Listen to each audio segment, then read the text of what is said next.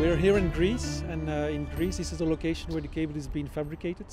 And uh, today we are loading out uh, the first cable onto the Livingstone vessel, and this vessel will transport and later also install the cable in uh, Belgium. We have two cables of uh, each uh, 40 kilometers to connect the OSE platform with the shore, and then we have on top of that also five kilometers of cable between the OSE platform and the Rentel platform.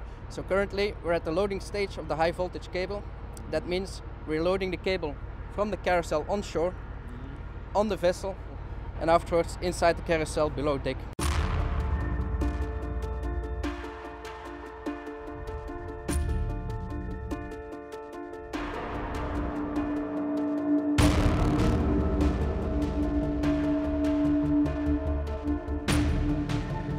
It took more than one year to finish the cable currently we're loading the cable and that will take approximately 10 days.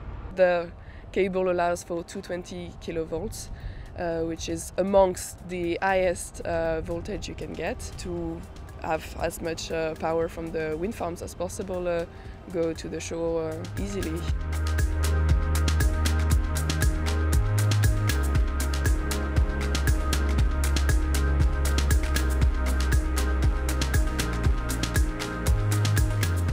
The loading of the cable uh, happens at approximately 6 meters per minute. It's a quite critical operation because you have a lot of simultaneous operations going on.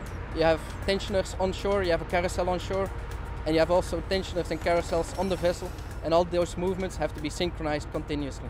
The loadout is a continuous process. Once the vessel arrived, we do it days and nights, uh, no stop.